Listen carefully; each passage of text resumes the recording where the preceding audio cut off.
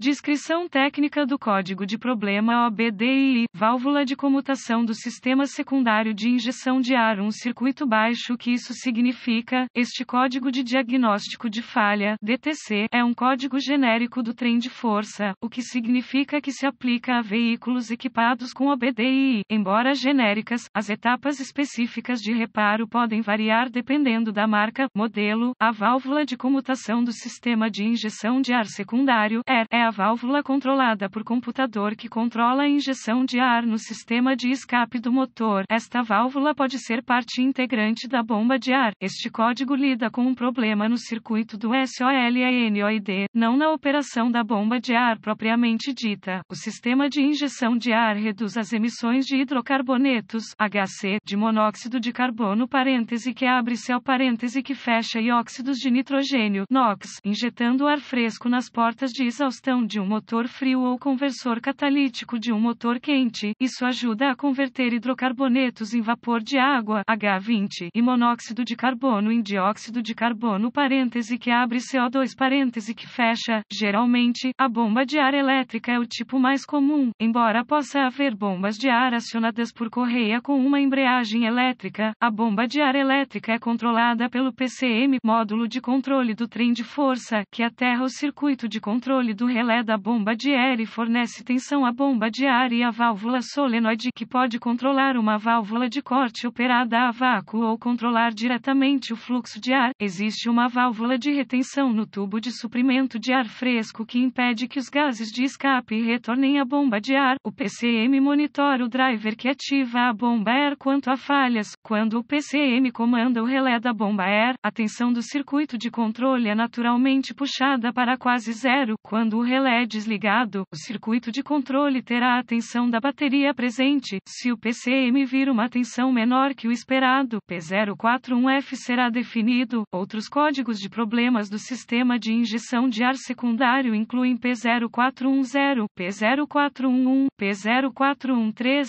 P0414, P0415, P0416, P0417, P0418, P0419, P041F, P044F, P0491, P0492. Sintomas Os sintomas de um P041F DTC podem incluir iluminação mil, lâmpada indicadora baixa, aumento das emissões do tubo de escape motor com alta capacidade. Causas As causas potenciais de um código P041F incluem curto terra no circuito de controle, curto circuito no circuito de controle, curto tensão no circuito de controle, circuito de controle aberto devido a danos, etc., aberto ou curto na alimentação da bateria para o solenoide aberto ou curto na alimentação da bateria para o circuito de controle do relé possíveis soluções se você tiver acesso a uma ferramenta de verificação com o KOEO chave no motor desligado comande o solenoide da bomba de ar ligado e desligado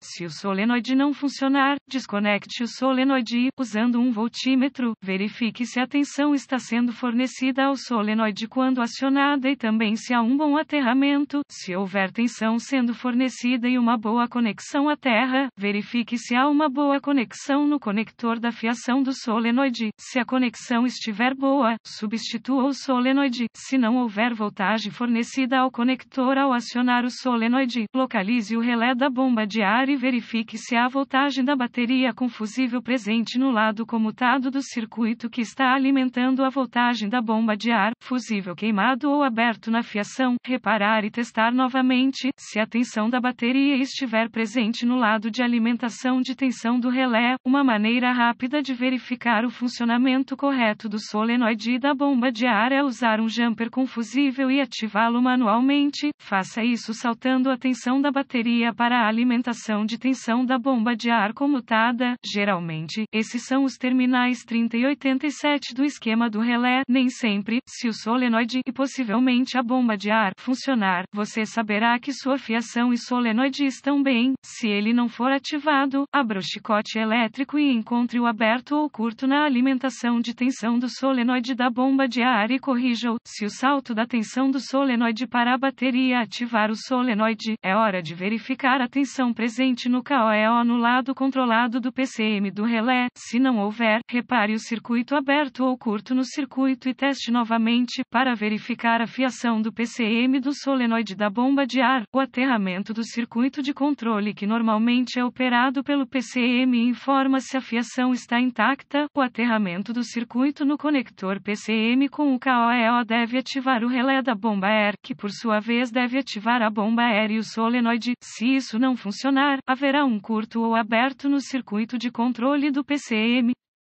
Se o aterramento do circuito de controle operar a bomba de ar e o solenoide, verifique se o PCM possui bons caminhos de aterramento e nenhum dano ao conector ou a intrusão de água. Se isso ocorrer, suspeite de um driver aberto no PCM.